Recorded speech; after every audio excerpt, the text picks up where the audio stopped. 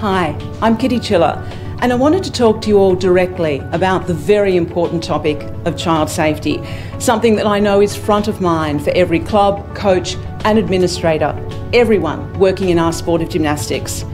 For Gymnastics Australia, this is a priority focus, so I'm very pleased to introduce our new child safe and member protection policies. Both policies are the result of over nine months consultation and review with key child safe industry partners and the gymnastics community. The policies provide clear and comprehensive guidelines for the safety and well-being of children within our sport. As an organisation, we're committed to providing more education and resources to you as we all continue our important work in child safety. The following video will provide you with a guide on how these policies will assist you, your members, and your organisation, as well as advice on what to expect in the coming months as we all work together to continue to educate the broader gymnastics community. I thank you for your support and for helping us make gymnastics a safe place for children to learn, grow, and have fun.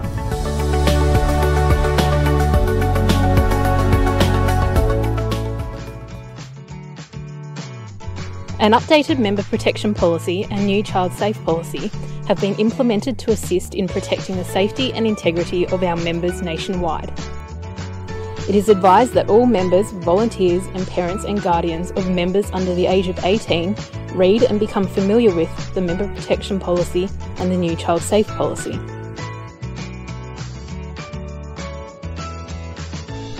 The member protection policy and the new child safe policy should be read in conjunction with each other. These policies will be implemented at all levels of gymnastics from national to club level. Both policies set out their own clear reporting process. The Member Protection Policy covers the complaints handling procedures in Part D of the policy. The Child Safe Policy covers the procedure for reporting and responding to child abuse allegations in Attachment A of the policy, Mandatory reporting requirements are outlined in Attachment F. The Australian Reportable Conduct legislation is available in Attachment G. Complaints should be handled at the relevant level. Club level if the complaint involves people operating at a club. State territory level if the complaint involves people operating at a state territory level. And national level for Gymnastics Australia matters that relate to or occur at the national level. However, if you believe a child is in immediate danger or a life threatening situation, contact the police immediately on triple zero.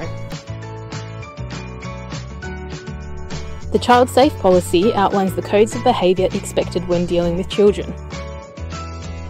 Whereas the Member Protection Policy outlines the general codes of ethics and behaviour for specific cohorts within the sport.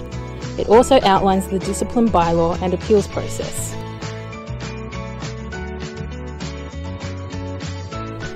Further education will be developed and rolled out by Gymnastics Australia to assist the gymnastics community in understanding the policies in more detail and the behaviours expected of all involved in the sport of gymnastics.